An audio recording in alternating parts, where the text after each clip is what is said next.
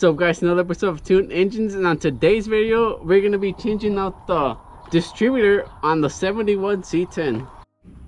Alright guys, so the reason why I'm going to be changing my distributor is because like this one has given me problems because like it's all cracked and broken and when I was going down the highway this thing popped off and I was like oh no, oh no. So whenever I want to take this off I can't because all these screws are all stripped off. So it's it's old. I got a new one, so we're gonna go ahead and switch it out. And by the way, guys, this is what it's doing whenever like I'm driving on the highway. Like these always come undone for some reason. I guess from the harmonics of a car, and it always goes like this, and it keeps on cracking and cracking and making. But yeah, so today we're gonna be replacing this. All right, guys, so we're gonna be replacing the distributor, the whole thing, and also we're gonna be uh putting the truck back to um TDC. So we're gonna put the, the we're gonna put it back to top of the center and put the actual degrees of uh, timing it needs. So yeah, let's go ahead and start that. All right, guys, and also the only I know like I was gonna do the spark plug video, but I'm actually gonna go ahead and leave it to the next video because I couldn't get the the correct wires in. So I was like, let me go ahead and fix the distributor since it has to be fixed anyway. And on the next video, hopefully show you how to change out the spark plugs. But yeah, let's get onto the video. Okay guys, so the distributor is what makes electricity which sends it to the spark plugs so you can go ahead and get spark and combustion when uh, it ignites with the fuel. Okay guys, so the first thing I'm gonna go ahead and do is uh, take off the advanced timing which is this little thing. So basically whenever your car starts speeding up when the RPM goes up uh, this is like a vacuum point where uh, the firing order faster. So we're gonna go ahead and take this off, bring it to the side. Alright guys, so now we're gonna go ahead and use this little green tool so we can pull off these uh, spark plug wires. So one.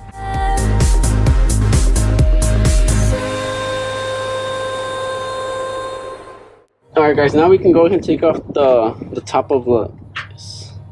But first we have to uh, take off for my my RPM gauge inside the truck.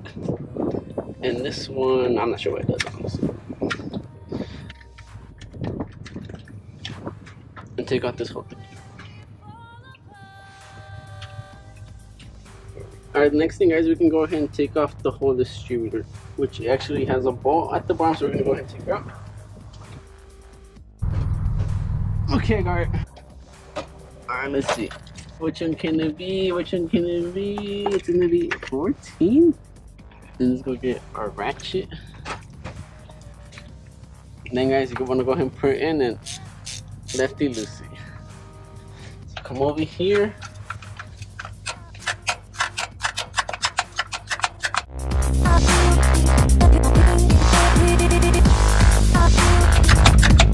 Best in the world.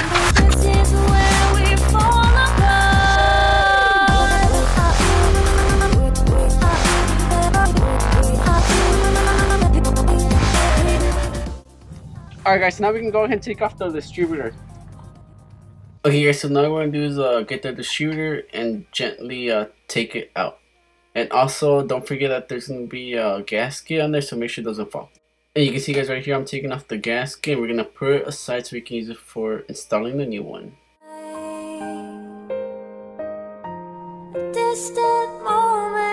Alright guys, so this is a new one. As you can see, this one looks a little more like beefcake. It looks beefier than the other one. And then this is the old one. Okay guys, so you can see right here, I'm pointing to the point. This is what makes contact with the rotor inside the distributor. And as you can see, it's not too worn down, so that means it's good. Alright guys, so the reason why I'm going to change it out is because like, you can see like the cap is all broken. Like It was just causing a bunch of pain. So we just had to go ahead and get a new one and change it out. But yeah, this is the old one and this is the new one. As you can see, this one looks a little bit more uh, beefier. It's probably gonna have more spark than this one. Okay guys, so what I like to do is I go ahead and get a paper towel to cover up the distributor hole so no dirt, debris, or anything can find there and cause engine damage. Alright guys, so now we're gonna go ahead and take off the spark plug because uh, we, we're gonna put the engine back on TDC and we have to make sure that the cylinder one is on all the way to the top and on its compression stroke. So now we're gonna go ahead and go through here, get our um, spark plug uh, socket get a small extension put it over here right here, and then take off the spark plug. So we're gonna go ahead and put the socket into the spark plug right there. And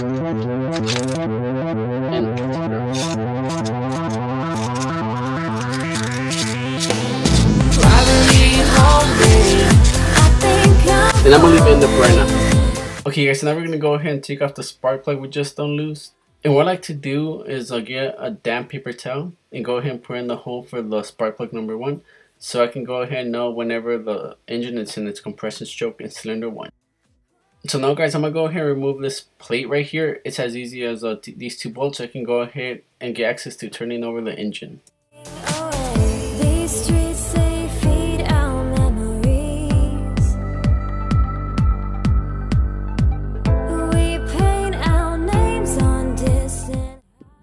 Guys, so now we're going to go ahead and get our owner's manual for the truck.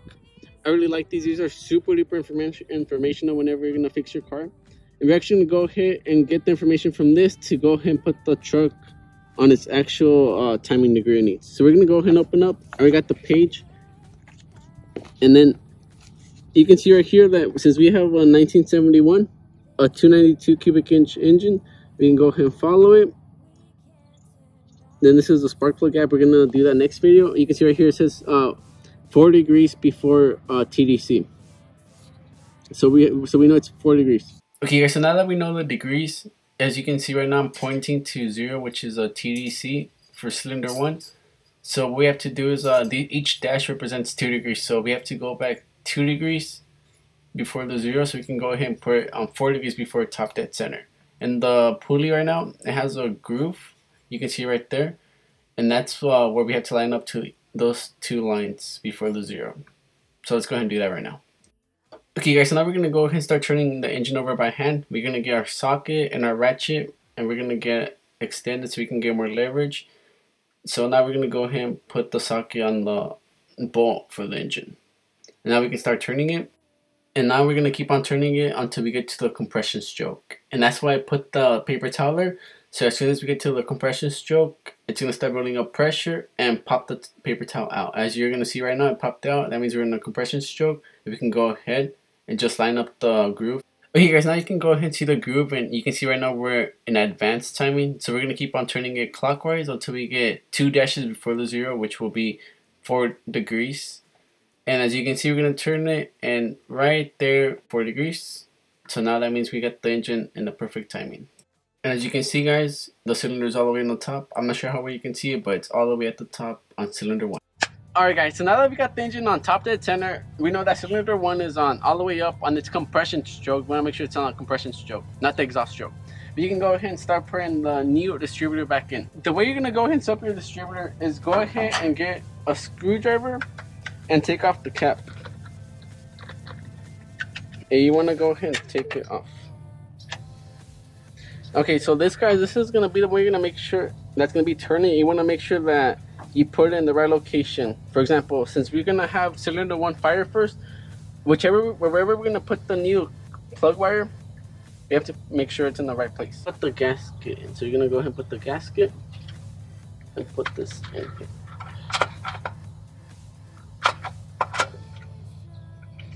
You want to keep on turning until it sits perfectly. Right there, it's already set down all the way, guys. And right now, this is not moving anymore because it's locked into the engine. Now after this, you want to make sure that you want to know where this little top is. This is the thing that spins around and makes spark for the for the spark plugs. So now, so we're gonna we're gonna go ahead and go like this. Make sure it's in the right location, and then we're gonna go ahead and mark it right there, guys. Okay, now guys, you can go ahead and get the ball that holds on the distributor and you can go ahead and put it back on and start turning it by hand until it starts getting tight. And then once it starts getting tight by hand, guys, you can go ahead and get your socket with your ratchet. So you can go ahead and turn it down all the way so it doesn't move anymore. Alright guys, and now you can see that since we turned it down, it's not moving anymore. Alright guys, so now I'm to go ahead and put the spark plug back in. So you want to go ahead and turn it until it's Okay guys, now you can get your socket and your ratchet. Make sure it's turning clockwise to turn it. And then you can go ahead and put it and start turning it down. And once it's snug, turn it one more time so you don't overturn it. Okay, so now we're going to go ahead and put the cap back on. So I always like to hook this thing up first, like this. And then, okay, so now that we have it on, turning these down. Like that. Put the last one. Oh. Perfect. Okay, now guys, you can go ahead and put your vacuum advance back on. And just like that, it's ready to go. Okay guys, so now we're going to go ahead and hook up our battery wire and our tachometer wire. In this case, since I know which one's the camera wire, we're going to go ahead and put that one first. Since I put my tack on. And then we're going to go ahead and put on the battery wire right next to it. And this is all ready to go now. Okay guys, so now we're going to go ahead and look at our book again. Because like I said, these are super duper informational. We're going to go ahead and open it. And then you can see right here, since we have an inline 6, this is our firing order. So it's 1, 5, 3, 6, 2, 4. You have to make sure you follow that order in case, or else your car's going to run all weird and misfire a lot. So we have our spark plug wires here, and we're going to go ahead and hook them up. Okay guys, so right now I got spark plug wire number 1. As you can see, we're to go ahead and put it on this terminal right here, because you remember the point is right underneath this cap pointing to this terminal. So we're to go ahead and put in spark plug wire number 1, and then connect to the spark plug. And this one's ready to go. Now we can move on to the next one.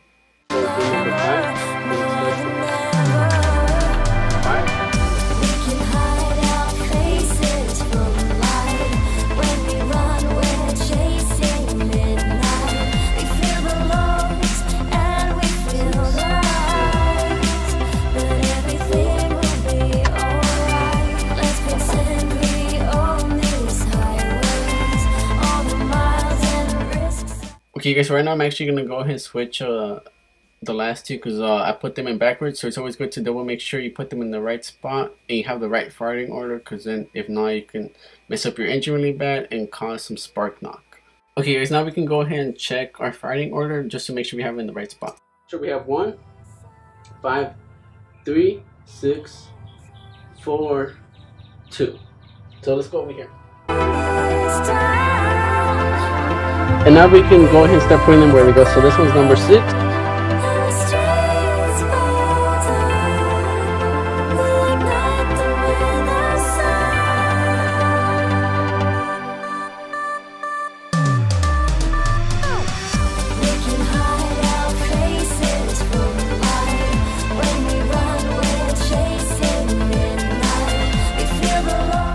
And now guys, we can go ahead and turn on the truck. So let's go ahead and do that and then give it two. We can turn on. Oh snap! You can see it turn on right away.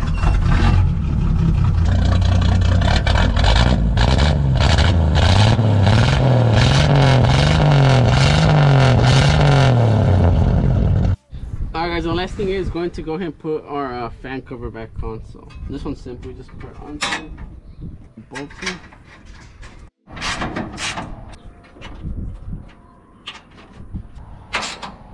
all right guys so that's it for this video. I'm gonna, I'm go ahead and keep this uh, distributor just in case for emergency because uh, it works. It's just that the cap is uh, busted but i want to go ahead and replace the whole thing just to make sure i have a brand new one in there. Well that's it for this video guys and on the next video i promise you i'll, I'll show you how to change your spark plug wires coils and everything for your car. All right guys i'll see you next time